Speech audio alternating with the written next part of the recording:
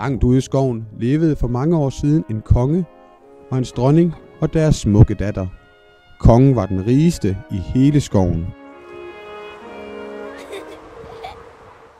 I den anden ende af skoven boede en ond troldmand med sine troldkvinder og sine onde orker. Troldmandens største ønske var at få fat i kongens trone, og han havde derfor lagt en skummel plan at kidnappe prinsessen. Han har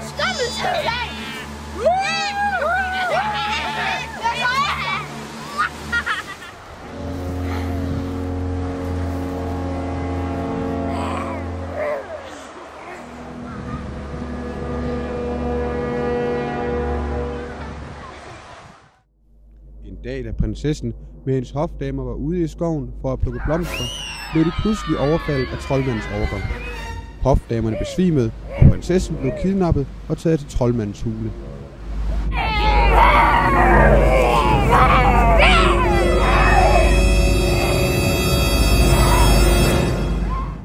Prinsessen tager nu til fange i troldmandens hule, og kongen og dronningen befalede derfor deres tre bedste ridder til at bringe hende tilbage. Ridder Asker, Ridder Oliver og den topperste af alle, Ridder Markus.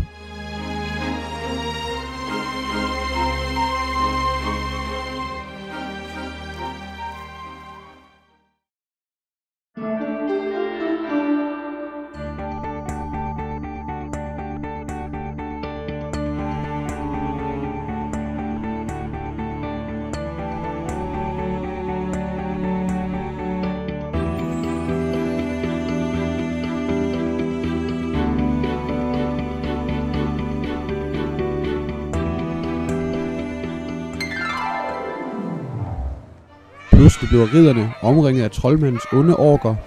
Det bliver et blodigt og langt opgør.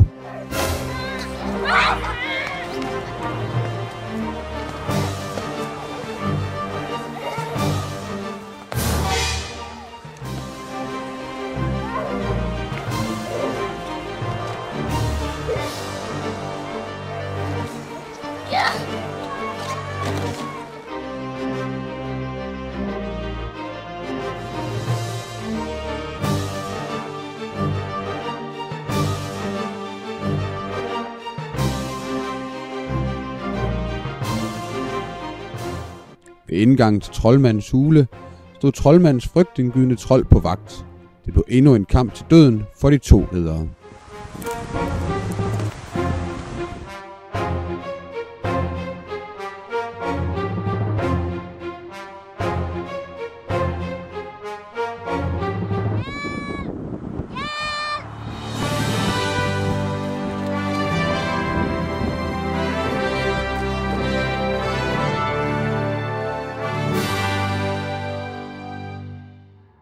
Prinsessen var nu reddet, men på vejen ud stod de tre hekse parat. De kastede alle en forbandelse mod ridder Markus, men ridder Markus' skjold kastede forbandelsen tilbage.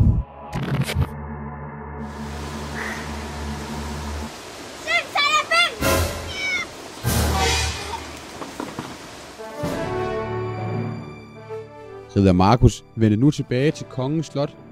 Kongen og dronning var lykkelige over at have deres datter tilbage. Prinsessen giftede sig med ridder Markus, og de levede lykkeligt til deres dages ende.